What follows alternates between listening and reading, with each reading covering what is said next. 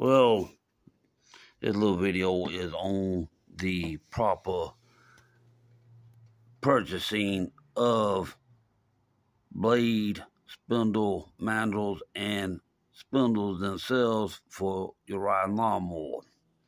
This particular spindle, mandrel, is for the Craftsman GT tractor. Now, this in of itself a lot of times if the bearings have gone out up top and the one down here, you can take them and repack them with grease and save yourself a lot of money. You just have to take the top seals off, both of them, and the bottom seals.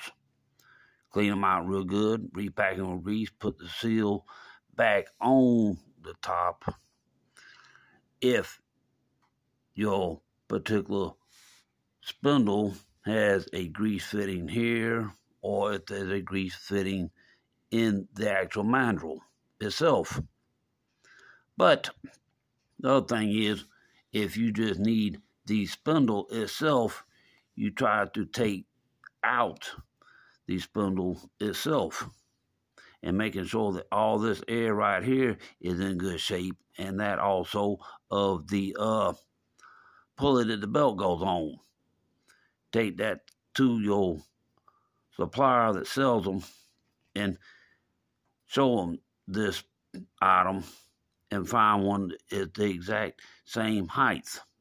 And what I mean by that is you set this flat just like that and you measure from where it's sitting all the way to the top. This particular mandrel I will do a little video when I get back in the house. It's supposed to be four and seven eighths of an inch tall for the Craftsman GT. Now, the same applies to say blade mandrels and spindles on regular tractors like the one under there on this YS 4500 and the XT. As long as the mandrel is not completely destroyed and this little area right here is in good shape and the spindle, well, I mean the pulley is in good shape that mates up with this, all you really need to do is just, you know, pull it and somehow get the bottom bearing out off of the you know, shaft, pull the seals, clean it up real good, and repack it. But now, if you want to buy a new ones, well, then you have to take the whole thing with you, including the top bearing.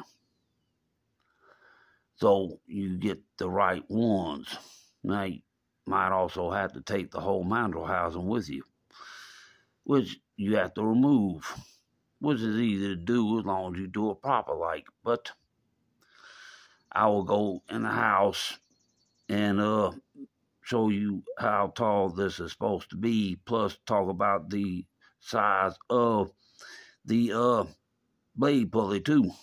So I'll see y'all when I get in the house and y'all have a great day and see you in a little bit. Thank you.